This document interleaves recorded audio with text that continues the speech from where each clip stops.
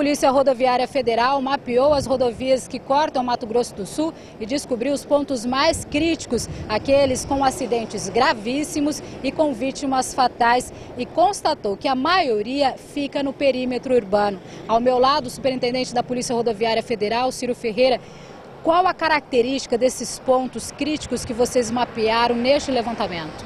São locais que existe a junção do trânsito urbano com o trânsito rodoviário e isso traz realmente um, um transtorno muito grande e é onde acontece o maior número de acidentes. Aqui no anel viário é um destes pontos? Isso, todo o anel rodoviário de Campo Grande é um ponto crítico porque nós temos aí é, um grande número de comércios, de acessos que, que estão na rodovia e, e trânsito de pessoas também que utilizam para acessar mais rapidamente os bairros eles buscam a rodovia para agilizar e acaba é, realmente se confrontando com o trânsito rodoviário que é muito pesado.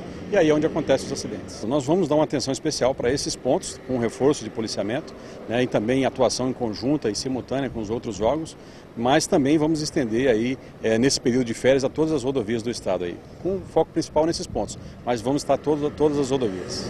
Essa operação vai até quando? É, nós, é, essa primeira etapa até o final de janeiro e depois é, novamente no período de carnaval, até o final do carnaval.